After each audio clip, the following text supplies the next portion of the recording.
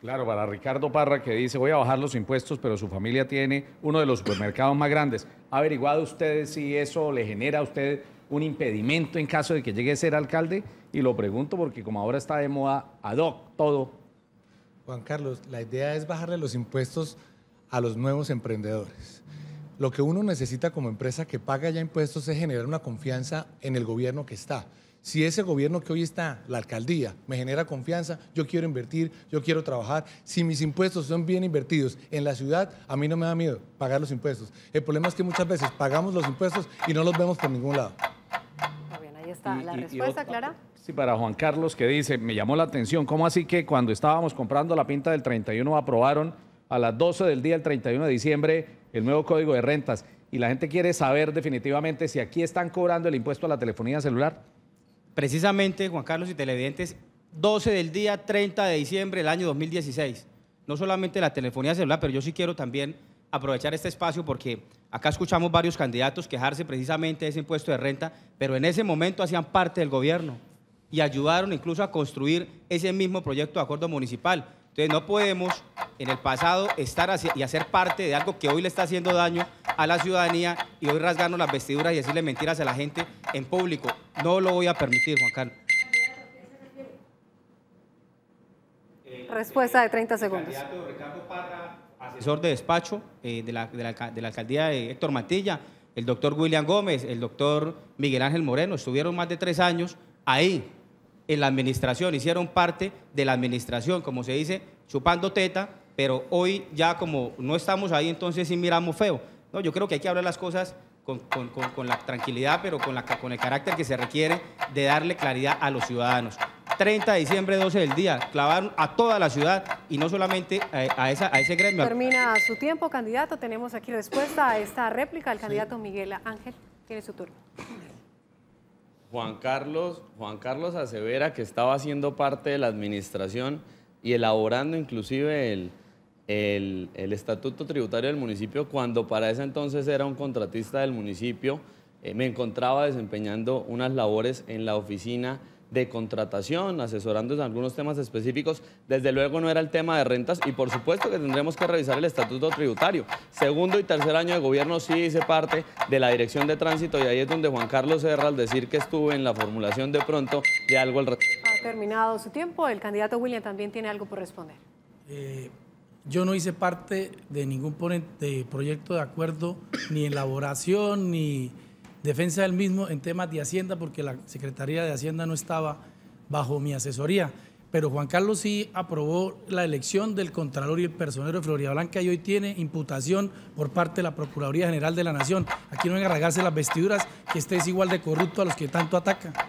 bien, ahí está la respuesta. Vamos a darle el turno ahora al candidato Ricardo Parra y posteriormente a Juan Carlos.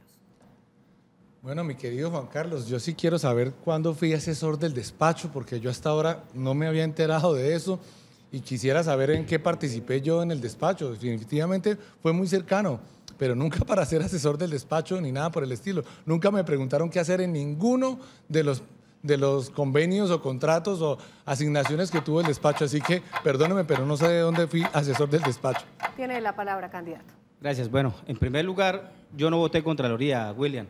Personería, primero de diciembre del año 2016, Consejo de Estado falló y Procuraduría Séptima Delegante del Consejo de Estado definió concepto en torno al personero y se desarrolló el proceso con una nueva entrevista. Entonces, no vengamos aquí a decirle mentiras a la gente. Hoy es fundamental y hay que decirlo, ustedes hicieron parte de ese gobierno, estuvieron bajo la, bajo la manta de Héctor Mantilla y recibieron beneficios de ese, de ese, de ese gobierno. Es innegable terminado el tiempo. ¿Alguna otra respuesta para la inquietud del candidato Juan Carlos? Miguel Ángel tiene la palabra. Claro, es que Juan Carlos deja aquí entredicho que recibimos beneficios. Mi único beneficio fue cobrar mi salario, por supuesto, y dejar hoy una hoja de vida transparente, limpia, haber participado en una administración que logra culminar prontamente los cuatro años de mandato luego de bastante tiempo de que esto no ocurriera en Florida Blanca, una administración que le puso el tatequito a las fotomultas, que trabajó para dejar cinco megaobras, más de 300 obras en diferentes barrios de la ciudad y por supuesto habrá cometido muchos errores, pero para eso se corrigen los errores y desde luego ahí estaremos trabajando. Terminado el tiempo, ¿algún otro candidato que desee responder? William, ¿tiene la palabra? pueden buscar en la página de la Procuraduría General de la Nación, donde el señor Juan Carlos Ayala, si llega a ser concejal, eh, alcalde, perdón, tiene una formulación de pliego de cargos y va a ser indudablemente destituido porque se configuró un concierto para delinquir en ese tema del personero, donde se distribuyeron las tareas precisas para elegir la corrupción. El candidato Hernando Ardila también ha pedido la palabra. Bueno, ya la comunidad se estará dando cuenta que aquí hay un y hay un ring donde se disputan quienes estuvieron participando de esta administración y que sí hay alternativas. Las hay y la comunidad debe empezar a mirarlas.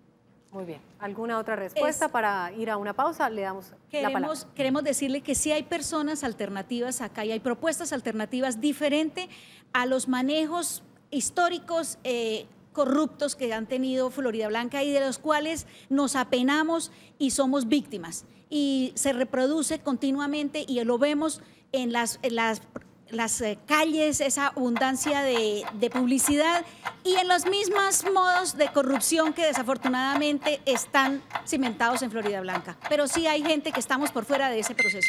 Gracias, candidata. Finalizamos con el candidato Juan Carlos Ayala, quien tiene la palabra. Eh, temeraria las palabras de William Gómez.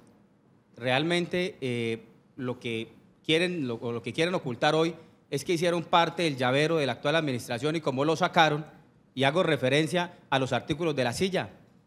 Todos en el municipio, Vos Populis, estaban esperando y haciendo fila para ser el candidato de Héctor Mantilla, hoy Miguel Moreno, que fue el que se ganó la venia.